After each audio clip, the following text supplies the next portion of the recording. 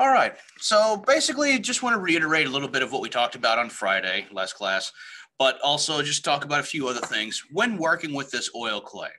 So the assignment is you have to make at least one, um, or you have to make two different pieces, one abstract, one representational. We'll get into that again. And of course, please do ask if anybody has questions. But I want to talk about this clay. So everybody got a brick of this Lamou or Labouche touch, the fancy touch of uh, high melt past plastiline from Chavant clay.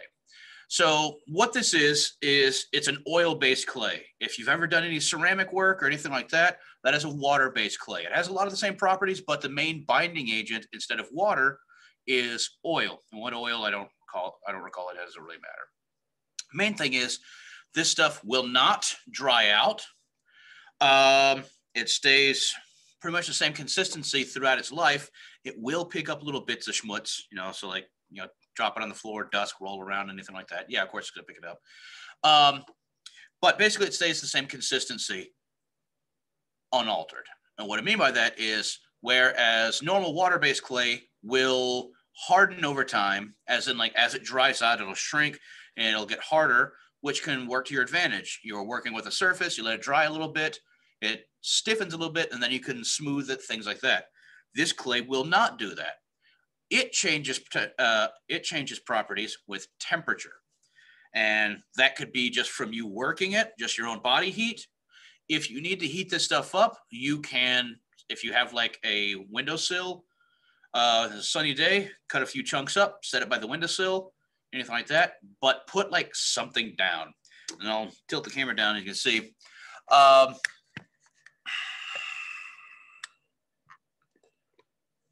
So I put down a piece of paper. Hopefully this stays focused.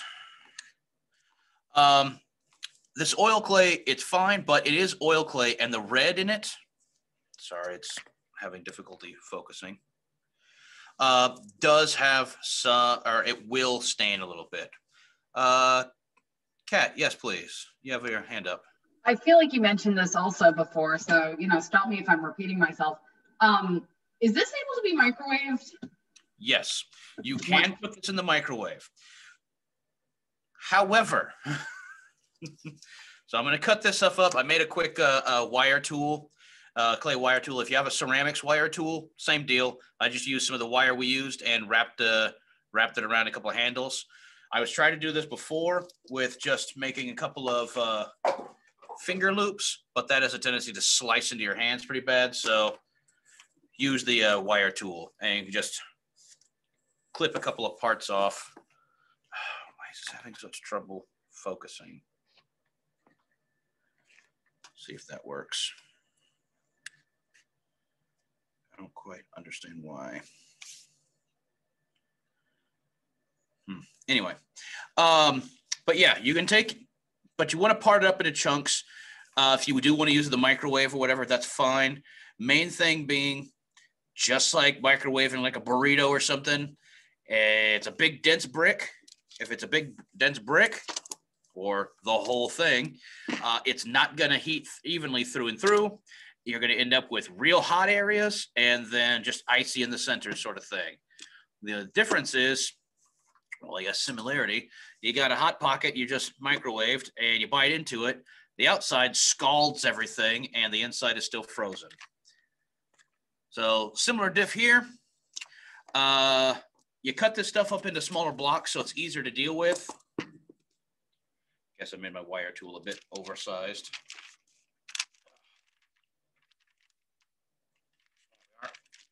Um, cut into smaller blocks. You have more surface area. The heat can get to it more readily. Do not overheat this stuff. It will turn into just liquid napalm, which napalm is liquid. Anyway, um, it will burn the hell out of you. You will get a very severe burn if you um, let this go too long. So, like, if you do microwave it, use a don't use a metal bowl. Let me pause a second here. So yeah, uh, make sure you're using small chunks because this will heat up very easily and you can burn yourself very badly. If you look on the lab- label here, it says high melt. That is exactly what it means. This stuff, technically, you could actually liquefy it and it will, uh, with heat, liquefy it, pour it into a mold, and you can get a clay duplicate out of a mold. That stuff's pretty great. I've yet to actually test that th- that uh, that option out myself, but that's supposedly an option. But that also means you have liquid, sticky, oily stuff. So think of like a bacon spatter or grease spatter. Yeah, only a hell of a lot worse. So do not heat this up too much. That's why I recommend like the windowsill or if you have like a heat lamp, anything like that, that's fine. But like little 30 second bursts in the microwave ought to do it. Alternatively, if you have a bowl of like hot water, you could throw this into a bowl of just hot water and that will help. Remember when you're cutting this stuff apart, do not use anything sharp because it's not like you're going to hurt the clay or anything. You see how much force it takes just to take put a wire through it. You have to put that pull against something, and inevitably, you're using like a razor knife or something. You're probably likely to injure yourself very badly. So don't use anything sharp. Use like a wire tool, hell, a butter knife if you like, but don't use anything sharp. Uh, cut up into chunks. There you go. So this will stain. So because the red in this, it comes from iron oxide, comes from, you know, rust. So be wary of that. All right. So those are the main safety stuffs. Put something down, you know, you can see as I'm working on the table here, it does transfer a little bit of the red. It's not terrible, but you know, just like anything else, why wear anything? If you're working, don't wear anything you actually like, things like that. Um, and I'm just cutting this up into a few smaller chunks still. So yeah, heat it up. It'll get more pliable. That said, maybe you're working on the surface and it becomes too pliable. It's too sticky. Getting everything kind of gooey and everything. Set your part aside for a little while. Hell, put it in the micro, or, sorry, put it in the refrigerator. Let it cool off.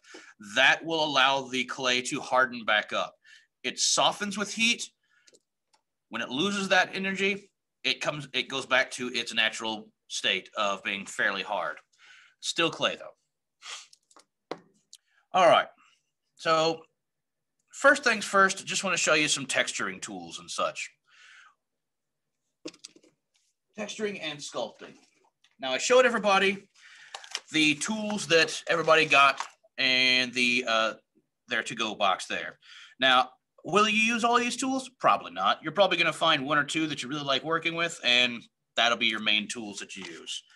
But play around with these. You're going to find different ways to use them, so, some different uh, benefits to some, whatever. I often end up with just using like one or two little bits. Um, and you can certainly reshape these. These are stainless steel. Uh, if you have like a grinder or anything like that, you can sand these down to a different shape if you like to adjust the profile. They all do different things, but play around with it. You know, you're gonna have some tools that are pointy that are great for carving in or just pressing in and creating indentations or offsets, anything like that. But most of the times you're using it just as little point tools or, you know, you're trying to cut out a section so this is what I mean by the the tools are largely interchangeable, but they're just convenient tools to use. Now, one quick thing, digging something out, do not use the thinner tools. Some of these have a much thinner neck on them. Some of these are much thicker. Use the thicker ones because as you already are starting to find out, this clay is very stiff. So uh, you start trying to bowl out, scoop out a section, it's going to bend your tool all up and you may even break it. Not the end of the world, but just be just be forewarned. Especially when you go to do like your pierce through element with your for your abstract piece, if you're actually like pushing through, cutting through, that might become an issue. There we are. All right.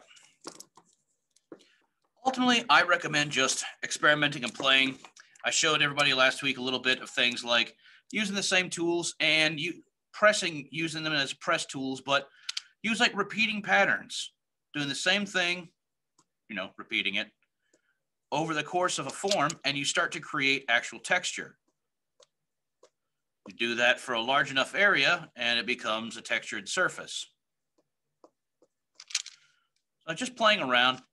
Um, some of these, you know, are really great for scooping out or making different size holes, playing about. Other things, taking little elements and like rolling them into balls and just sticking all over. Now I've got some examples from previous semesters I can show everybody. And we'll go over that. But this stuff sticks to itself very readily, especially when it's warm. If you need to reshape this, let it cool, and it would be easier to then go in and do more finer work.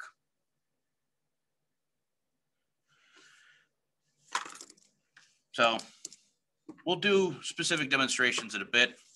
Um, other things I talked to y'all about a little bit about is play with things, like literally play with other materials and uh, for texturing tools. You can use something like a ruler. If you want long, straight slices in, this would be really great for making like bark, tree-like tree form, you know, like a tree bark, something like that. And I'm just literally like pressing it, this in repeatedly, altering the pressure and angle ever so slightly. And you can start to create this kind of bark-like surface, or for that matter, careful, don't chop the hell out of your hand, but just whack, just whacking at the surface. And it's not like I'm trying to chop it in half, but again, altering the angle a little bit,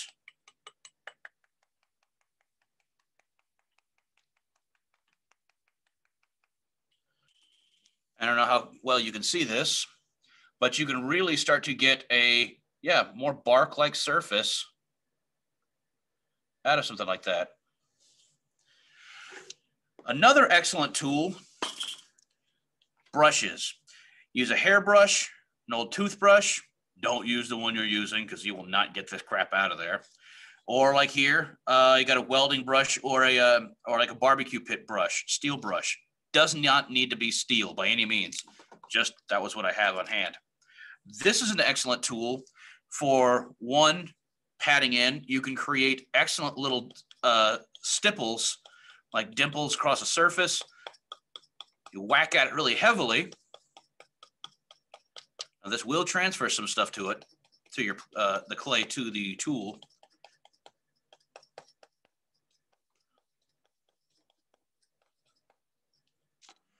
So this can start to create a really interesting, see how this focus, there we go. Really interesting stippled surface.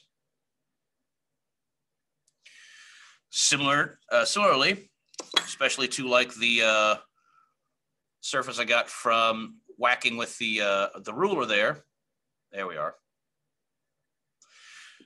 To simulate something like fur hair, you could use the brush and instead of stippling, pull at it. Now this is going to create a bunch of little boogers,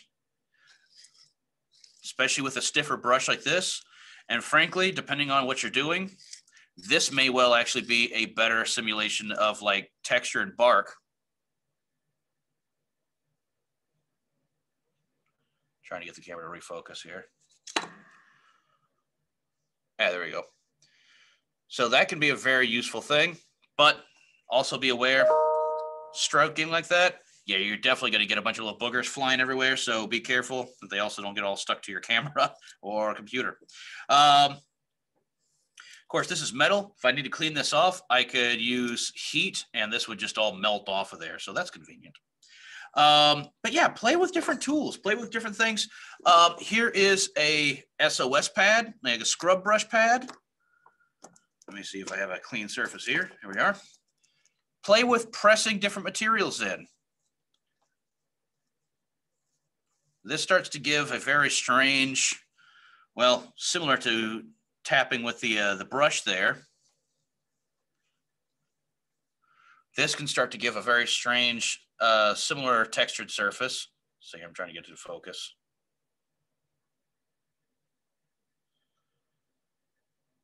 There we are. If you're trying to simulate um, skin texture, the uh, cells and pores on skin itself, that can be a combination, and that often is a combination of using something like a wire brush and patting ever so lightly to simulate the pores, and then just going back and kind of smoothing those back over. Those can be a really convenient way to create a surface or a skin surface and play around, you know, add different materials, add different textures. Skin has wrinkles and stretches in different ways, stuff to that effect. It's very subtle, but more of a combination of the two. Can't really see much of anything on that. Um, but there's such a variety of other things. Uh, I talked about using aluminum foil. Again, I don't have any aluminum foil here, uh, but a similar texture can be gotten from like just using crinkled paper. Foil is a lot more, a lot easier to use or a lot more effective just because it's, it's harder. But crinkled paper, what you're doing is randomizing a surface and then using that and using that to then press in. You're getting all of those little folds and crinkles of the paper. And you start to get this really strange, like crinkled surface here. Doesn't translate very well here. So aluminum foil is far more effective. Clean up some of these clay balls. Here. All right, so next what I want to talk about is an armature. Now, armatures are, ouch, carefully don't stab yourself. Armatures are, if you're working with clay, whatever type, and you need to add some structure inside, especially those if you're like making longer thinner sections like this and much longer than that. Obviously, it's just kind of a glop or whatever. But you start do, working with this, it starts warming up anything like that, it's going to droop, it's going to break apart, anything like that. An armature can be something as simple as a single piece of wire merged inside of your clay. You could stick it up through, you could press this in and allow the clay itself to wrap around the wire and encompass it. Can also be a convenient way of working if you are making features. So got like this kind of odd like horn hair kind of thing going. And I wanted to add this feature to a larger form I'm working on. I could have a bit of bit of wire sticking out the end and use that as a perfect way to jam on there and attach your form and attach different pieces. So I could have a main body and some little, a bunch of little components. So let's say like, I don't know, wee little fins of some sort. I'll put a little bit of, I'll put a little wire in there. Be careful because like with the wire project, using clippers, you make a very sharp point on that, on that wire. So say you got like little fins and such. Now I could add these very easily to my design. So this is an excellent way of adding elements or features that you're maybe not exactly sure where you want them to go yet, or if they have a very small connection point, this is an excellent way to add a little bit of strength into that small connection point. The wire's just in there, just squashes on, you're all good. Don't forget it's there if you're sculpting additional parts, but very handy to use. Other thing could be maybe it's for display maybe your finished piece, you make some sort of a simple stand, and this is just wrapping some wire around. And for display purposes, it's a fairly top heavy here, of course, but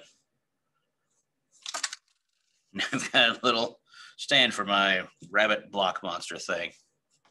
Whatever. So wire is very useful. The other option is on the heels of, I'm sorry, losing focus here. I don't know why. On the heels of asking, well, how big do these need to be? Well, one of the issues with scaling up a solid brick of clay idea is you can see how difficult it can be to just start moving around this smaller amount. Now, yes, you could microwave it again. Yes, you could heat it up in your hand. You could use a hot bowl of water and dunk this in, whatever. A larger object is going to be more difficult to work with because it's so much uh, it's so much of the single block of clay. Same thing goes. It can also be a big consumer of clay. There's no reason to have something that's you know that big around like a big potato. Don't make a potato of uh, solid clay. Well, armature can also be used, or the term armature is can also be used for space saving material. What I mean by that is not space going, your fine NASA grade metals and such, but I mean taking, so this is just paper. Aluminum foil works well also. Reason I say aluminum foil works well is because you can rough out a shape quickly by crunching up aluminum foil, but then you can skin it with your clay. And yes, it encapsulates your form. You've got, in this case, now I've got a chunk of, of uh, paper in there, but you can very easily start to build up a much more massive ob object, something with a lot more volume without using solid clay, without one using up a whole bunch of your material, but also it doesn't need to be a solid brick of clay. There's no need for that. This now is easier to move. So if I, as I'm sculpting, if I want, want to adjust this slightly, because it's not solid inside, it gives a little more effectively. Now, yes, of course, it's a little more pliable because I've been working with it. It's now a little bit warmer, that sort. But using armatures as both an internal surface or an internal space saver, or using wire or something as a way to add to your shape, add to your form, that can really help out. Really helpful ways of working. Would it make sense to make an entire thing out of wire and then put clay over it? Sure. If you were making something stick figurey, this is very, this really helps out in making like just general forms if you are unsure of what you really want it to be like. There we are. I can make like a little, exactly that, like some kind of like little simple stick figure kind of thing going.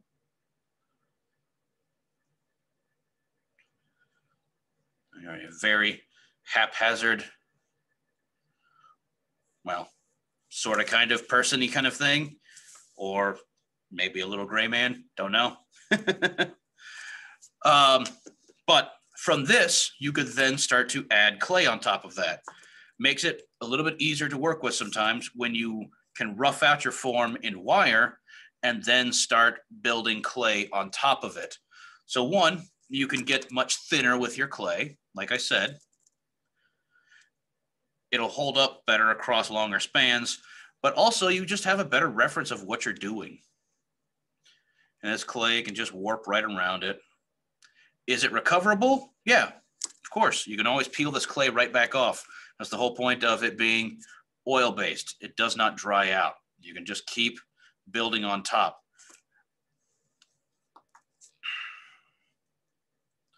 Now, one thing you may have noticed me doing is as I glob clay on, I'm smoothing it over with my thumb or fingers.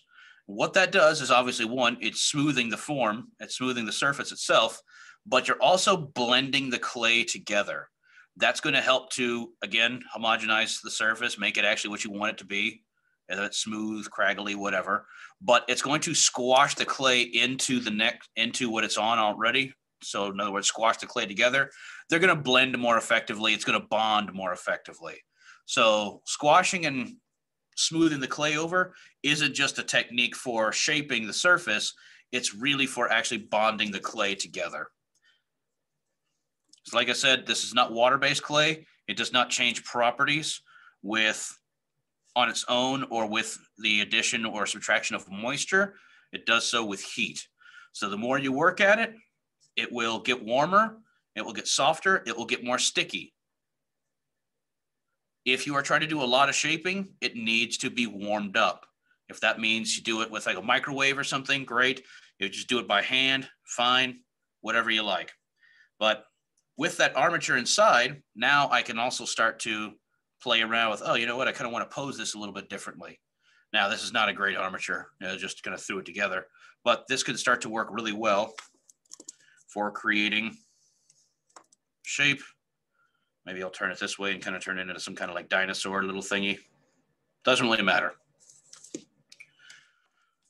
But an armature just refers to some sort of structure inside of clay, be it wire, be it paper, aluminum foil, whatever you like. So play around. Just remember the stuff will stain a little bit. Be very careful of if you have arm, uh, wire armatures, cutting it leaves very sharp points and you'll apparently stab yourself. Whoops. Um, and it doesn't hurt to have a little bit of something on the table to keep uh, red oil clay from streaking onto everything. So those are pretty much the basics of working with this clay. We're going to continue to work with this as we go throughout the project, but I encourage you to play around with it. And just remember, you're making two separate pieces. One is abstract, one is representational. We'll talk about more.